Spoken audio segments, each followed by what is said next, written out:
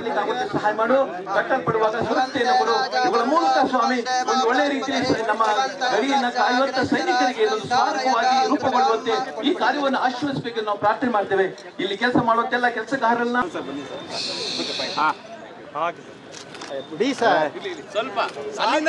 ಜಿಲ್ಲಾಡಳಿತ ಹಾಗೂ ಕನ್ನಡ ಮತ್ತು ಸಂಸ್ಕೃತಿ ಇಲಾಖೆ ಹಾಗೂ ಸೈನಿಕ ಕಲ್ಯಾಣ ಮತ್ತು ಪುನರ್ವಸತಿ ಇಲಾಖೆ ಮೈಸೂರು ಇವರ ಸಹಯೋಗದೊಂದಿಗೆ ಯುದ್ಧ ಸ್ಮಾರಕ ಶಂಕುಸ್ಥಾಪನೆ ಪ್ರಾರಂಭವನ್ನ ಜಿಲ್ಲಾಧಿಕಾರಿಗಳ ಕಚೇರಿ ಸಮೀಪ ಹಮ್ಮಿಕೊಳ್ಳಲಾಗಿತ್ತು. ಯುದ್ಧ ಸ್ಮಾರಕ ಶಂಕುಸ್ಥಾಪನೆಯನ್ನ ಜಿಲ್ಲಾಧಿಕಾರಿ ಬಗಾದಿ ಗೌತಮ್, ಶಾಸಕ ಎಲ್ ನಾಗೇಂದ್ರ ಗುದ್ದಲಿ ಪೂಜೆ ಮಾಡಿ ಕಾಮಗಾರಿಗೆ ಚಾಲನೆ ನೀಡಿದ್ರು.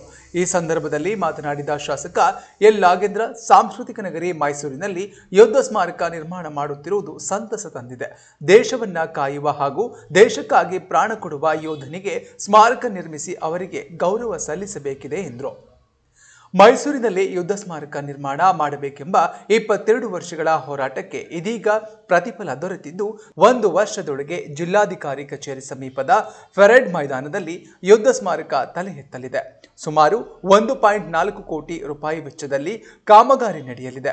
ಈ ಸಂದರ್ಭದಲ್ಲಿ ಚಾಮರಾಜನಗರ ಜಿಲ್ಲೆಯ ಪಟೇಲ್ ಪುಟ್ಟಮಾದಯ್ಯ ಒಂದು ಕೋಟಿ ರೂಪಾಯಿ ವೆಚ್ಚದ ಗ್ರಾನೈಟ್ ಶಿಲೆಯನ್ನ ನೀಡಿದ್ದಾರೆ.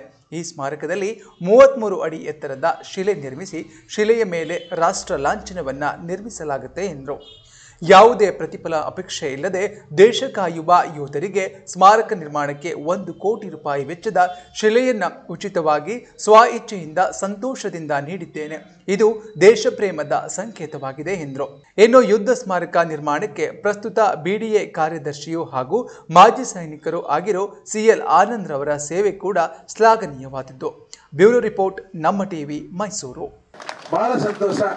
ಅವರ ದೇಶ ಪ್ರೇಮವನ್ನು ನೋಡಿದಾಗ ಪ್ರತಿಯೊಬ್ಬರು ಸಹ ಅವ್ರನ್ನ ಸ್ಮರಿಸಬೇಕು ಅಂತ ನನಗದು ಅನಿಸ್ತದೆ ಆದರೆ ಇವತ್ತು ದೇಶದ ರಕ್ಷಣೆ, ಪ್ರಾಣವನ್ನು ಕಲ್ತ್ಕೊಂಡಿರ್ತಕ್ಕಂಥ ಸೈನಿಕರು, ಅನೇಕಾರು ಸೈನಿಕರ ಒಂದು ಕುಟುಂಬದಲ್ಲಿ ಅನೇಕ ತೊಂದರೆಗಳನ್ನು ಅನುಭವಿಸಿ ಬರ್ತಾ ಇರ್ತಕ್ಕಂಥದ್ದು ಎಲ್ಲವನ್ನ ನಾವು ಗಮನಿಸಿದ್ದೀವಿ.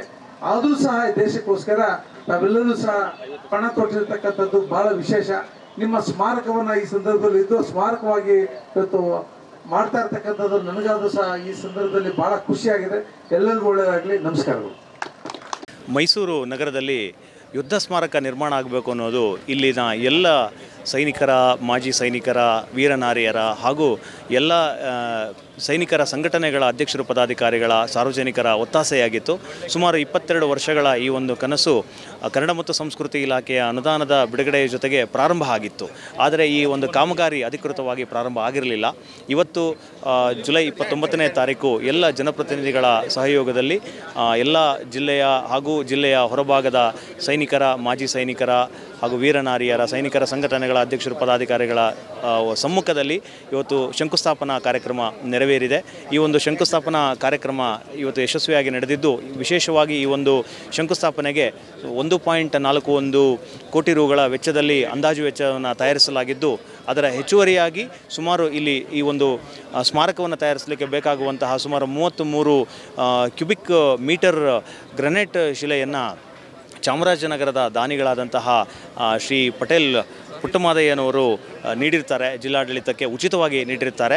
ಈ ಎಲ್ಲವನ್ನು ಬಳಸಿಕೊಂಡು ತತ್ಕ್ಷಣವೇ ಕಾಮಗಾರಿಯನ್ನು ಲೋಕೋಪಯೋಗಿ ಇಲಾಖೆಯ ಮೂಲಕ ಪ್ರಾರಂಭಿಸಲಾಗ್ತಾ ಇದೆ. ಆದಷ್ಟು ಬೇಗ ಈ ಕಾಮಗಾರಿಯನ್ನು ಮುಗಿಸಿ ಇದರ ಉದ್ಘಾಟನಾ ಸಮಾರಂಭವನ್ನು ಕೂಡ ತಕ್ಷಣವೇ ಮಾಡಬೇಕು ಅನ್ನುವಂಥದ್ದು ಜಿಲ್ಲಾಡಳಿತದ ಒಂದು ಅಪೇಕ್ಷೆ ಇದೆ.